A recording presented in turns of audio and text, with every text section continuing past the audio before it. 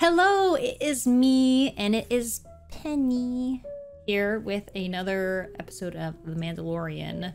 Season three, it's been really fun so far. Um, really looking forward to seeing what direction they take. We're kind of leading into Mandalore's getting a new place to stay and rebuilding. Bo Katan going out into the world to find more. Bring them to this uh, clan tribe they've made. So a lot of fun. So yeah, I'm just enjoying the the show and the direction they've gone and I'm ready for more. So hope you guys are too. Episode number six or chapter 22, Guns for Hire of the Mandalorian. Let's get to it.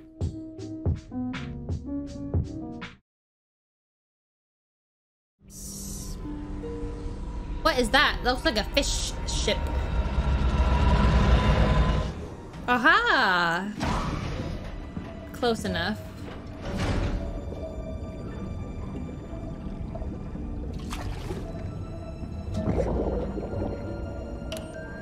A little funny. Tras viva marga, robo manir gatimo. Tireless. Trask. Empire keep it. Empire. Is that like a he the healing? Is that a Bacta tank or Orshuno via Yabro. very cool? Interesting. Uh, ooh, we got friends in high places. Basic is not my native tongue. I meant to say that we were not aware of the majestic Imperial presence in this sector, and we will gladly hire your protection. Is that something they? We are Oh. not Imperial either. Oh. We are Mandalorian.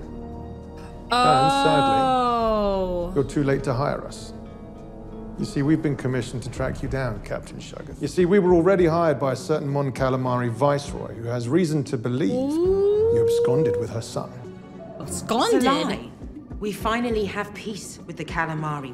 Why would I jeopardize peace and prosperity? I know it was for love. But my job is not to judge, but simply to complete the tasks for which we were hired. Bro. No! I won't go. I won't go.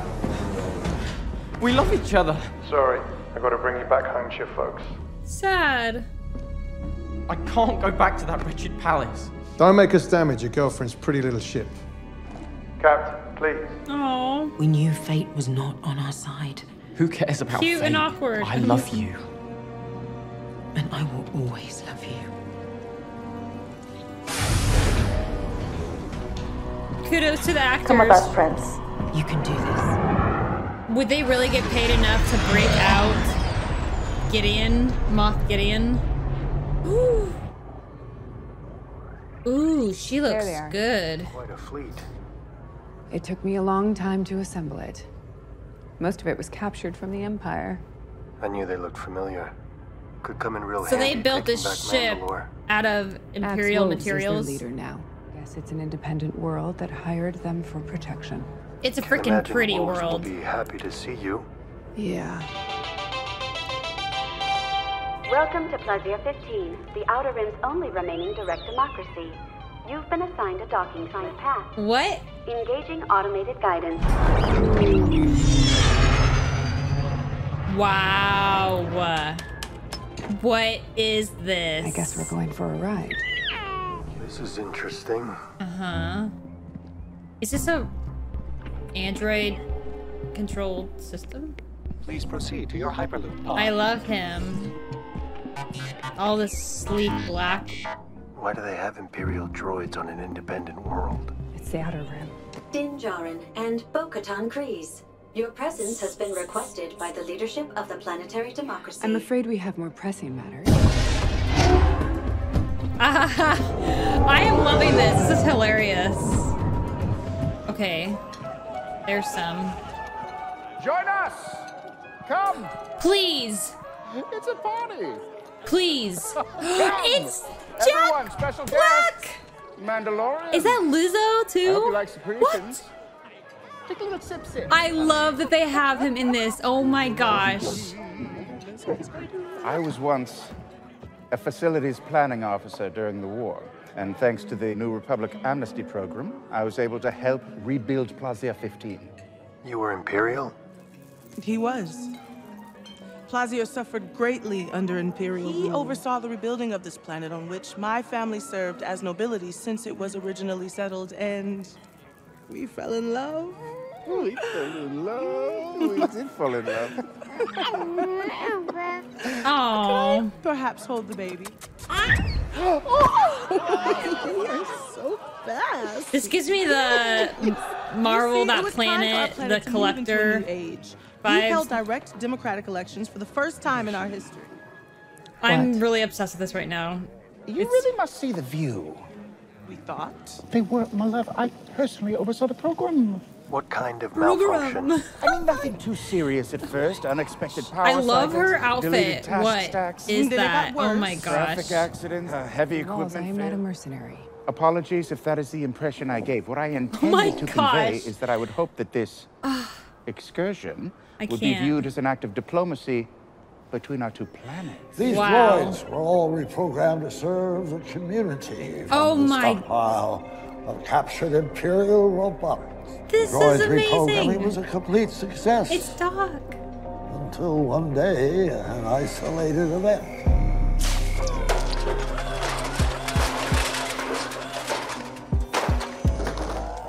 Oh, that's real sketch.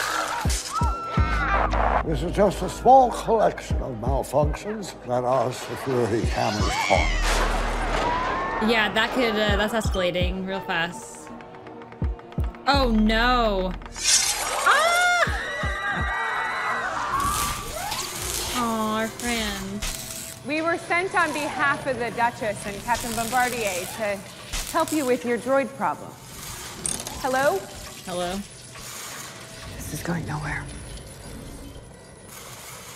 I am Grogu Mandalorian the Din Justice? Djarin, friend of Ugnaught Kuiil.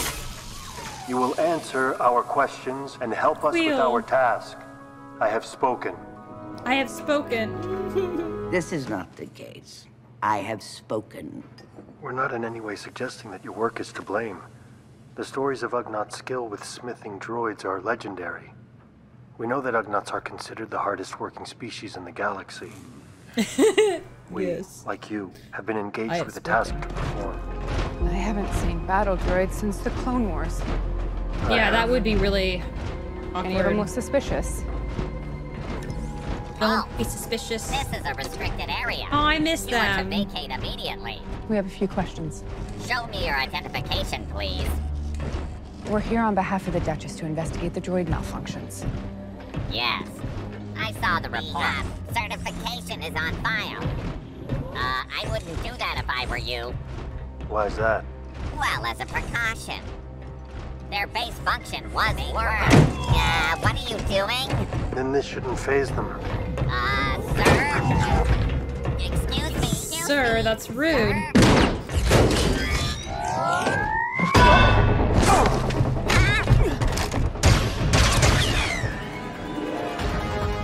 Yeah, you did uh, kind of provoke them, but this is so cool.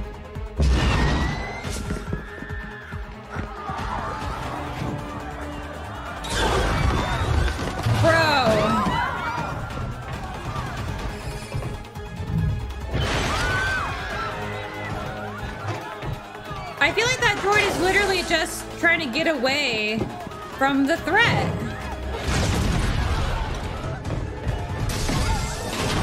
Whoa.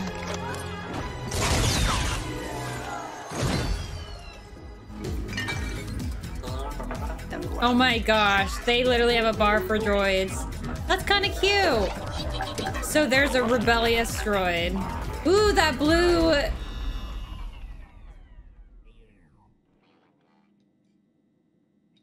I like how the music, everything just shuts off.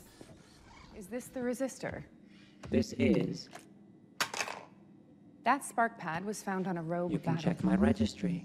We are in full compliance with planetary hierarchical. If you don't start answering questions, I'll yank your memory circuit and dissect it back at the lab. Bad cop. Oh, Nobody leaves. What are you doing? You're wasting your time. You can't reason with droids. Their behavior's programmed. All they do is reason. They're also programmed not to harm organics. How's that going? Look, you are not helping. His body language is so malfunctioning droids funny right happen now. To visit here doesn't mean that this one is Some in- droids on Plazir date back to the Separatists. Aw. The New Republic would send them to scrap. But here on Plazir, they are given a second Organics chance. created us. It's the least we can do.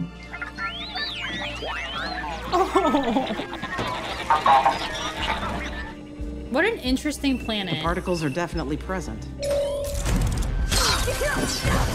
Bro, a laser?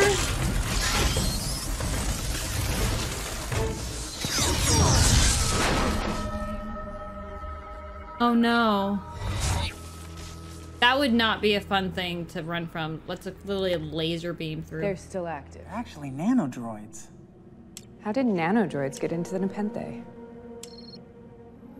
It's writing. It's code. Rotate the perspective. It's a chain code. If it has a chain code, then we should be able to determine its point of origin. They were originally manufactured by the Techno Union, oh. been in cold Oh. storage for ages. These droids were ordered by an individual, Is there a name? our head of security, Commissioner Helgait. Naughty. He's got the kill switch. You programmed them to disrupt an attack. You're coming with us. Everyone freeze! If I trigger this failsafe, it will convert the planet's docile workforce back into battle droids and unleash them upon the unsuspecting citizens of Plazir. I didn't give up to the corrupt Republic. I didn't give up to the They could Empire. just shoot you, bud. You're a separatist. Separatist is a pejorative term. I support democracy. Count Dooku was a visionary. He was cut short in his prime by the Jedi and forces. I mean, well, Okay, let me get that for you, my lady. Your Toslavin. Wow, what a hard life. Grogu got a new friend. Whoa.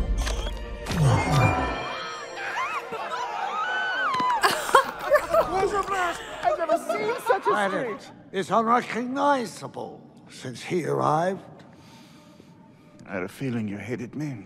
I'm disappointed in you, Commissioner. I am sorry to have disappointed you, my lady. Perhaps someday I can earn uh, such forgiveness from your grace. So this planet was originally separatist. I grant knighthood. You are now a knight of the Ancient Order of Independent Regencies. Wow. Oh. My lord, my lady. My baby. yeah, that's a decent number of Mandal. I did not realize I had that large of a group. I've come to reclaim my fleet. It's no longer your fleet, is it? Then I challenge you. Yep. One warrior to another. Are we gonna see it right now? I do. Ooh.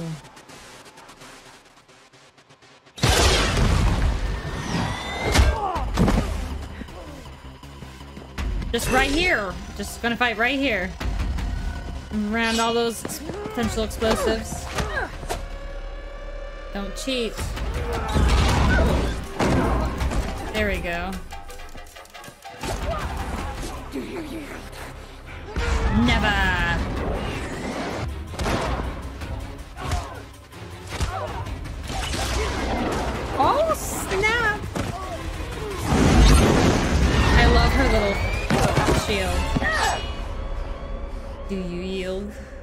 Again? You'll never be the true leader of our people. But according to our ways, the ruler of Mandalore must possess the dark saber. Then she shall have it. Are they gonna fight? While exploring Mandalore, I was captured, and this blade was taken from me.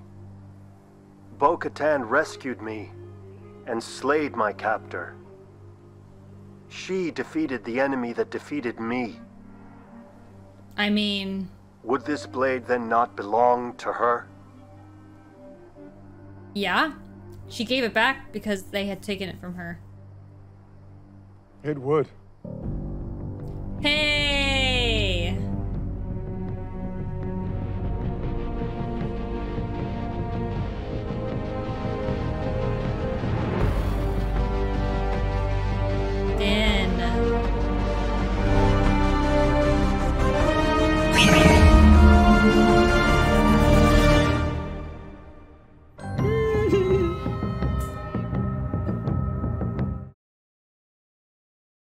Oh my gosh, what a fun episode. Right, Penny? Did you like it? Okay, she's good. That episode was so fun. I was like, I have a tendency when I get distracted focusing on one thing, I then don't catch some of the dialogue story. But I freaking love that Jack Black was in this. He made like some, you know, really fun Star Wars YouTube shorts during the pandemic. And I mean, I just love him as a person. So, and Lizzo was a surprise, but I thought they both did wonderful. They played those parts well. I love the relationship Grogu and the Duchess had together. It was very cute. Um, Christopher Lloyd, seeing him in action was super fun and he did great. I loved seeing all the different species, the Ugnaughts, all the different droids. I loved that they pers- personified the droids, which, you know, that's always been the controversy, right? Is like, do people look at them and view them the same and treat them as people? But I love that little moment where they're like, humans don't live very long. They created us and it's the least we can do and they only use us for limited purposes. So I find that so sweet and I think and they that the fact that they were concerned too about being replaced. I I just thought, you know, we obviously saw some episodes in the Clone Wars where they were highlighting droids in different moments and giving that. So I just thought it was a really sweet moment. Um, you know, and then in the end bringing it back and she it was you know what Din said um, and and Bo Katan taking possession of the dark saber. It was something that they all could justify, right? The other Mandalorians, but Bo Katan herself, she didn't want to just take it, but she they're like, you make a good point. He had it in his possession.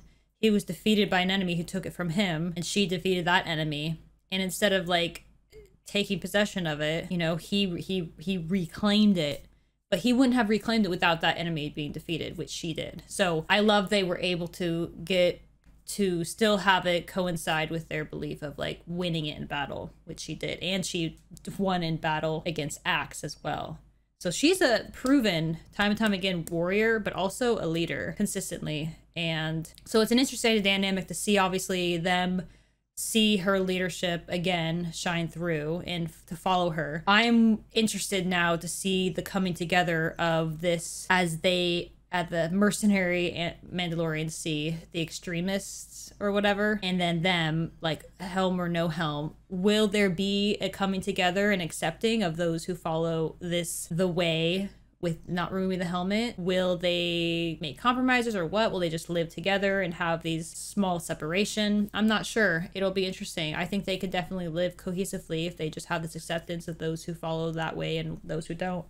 They're all Mandalorian. I kudos to Bo Katan too for I think sending an important message that can be, you know, obviously shown in our own world that our ancestors our ancestors, you know, originally they took up the creed. At one point, Mandalorians started, and that's what they did. They took up the creed, they followed the way, and Din might not have a drop of blood in his system. Feels very um muggles, Harry Potter or whatever, you know, like, oh, you're not pure blood or whatever. And they're like, he follows the creed. He's a proven warrior. He follows this path. He's no different than you or I. Um, same thing of like chosen family, right? Versus like blood family. Like it's not about the blood, it's about the path you chose and the family you choose, which is what they've done. And so I just thought overall this episode was really well done. There's a lot of things that were really exciting. They had this little fun little blurb that could definitely come back, but I also think it's a really cool concept of like Plazir 15, a planet that's like named after him. Um, very posh uh, life, uh, very luxe. I don't know how they're able to get away with that. Um, but yeah, a lot of really cool things, uh, conversations going on, and I love the throwback to Krill, Killy. What I'm spacing. Um, Quill, Quill, his Ugnaught friend from season one that you know, I I love that moment, and that's a, that's like the at least second or third time that Din has done that where he has adjusted himself and and shown respect of a culture. He did the same thing with the um the Tusken the Tusken Raiders, you know, speaking their language um or coming to understanding or knowing how to interact with the dogs. I believe it was him, not Boba Fett right. Or he at least learned in future times how to communicate with them respectfully. Um and same thing with the ugnaughts. Same things with other people he comes across. Um maybe not with the droids. He was a little bit harsh with them but they both both him and bo had good points. He's like they follow a programming until they don't. And she's like they are programmed for reasoning. Right. Um so overall, yeah, I have a lot of feelings and things to think about in this episode, and I hope you guys enjoyed my reaction and my thoughts. If you wanna, if you made it this far, you like the video, go ahead and give the video a thumbs up. If you aren't currently subscribed, hit the subscribe button. It shows you when my videos go live since the schedule is not consistent and it shows your support and interest. So love to see it, love to have it. And yeah, that's all I have to say. I can't wait for the next episode. Um, I'm clearly always surprised. You never know what they're gonna show. They might do little filler moments, but I love all of it. Um, and again, I love the visuals they give us. Uh, her beautiful fashion statement, digital fashion bow, the back of her dress, even her hair, like everything, all the aesthetics of that city was beautiful. I love the combination of, I, I assume CGI and um, practical effects with like all the face, like the Ugnaughts and stuff. I'm not displeased with the not complete matching up with dialogue and mouth movements. You know, again, it's not, they're trying to transverse between humans' mouth motions and speaking with our lips versus other mechanical means and other things. So it doesn't, it's not a, a turn off for me. I, I, I can get past it. It kind of feels homey to me. So yeah, overall, loved it. Uh, hope you guys did too. Thanks for being here, and I will see you on the next one.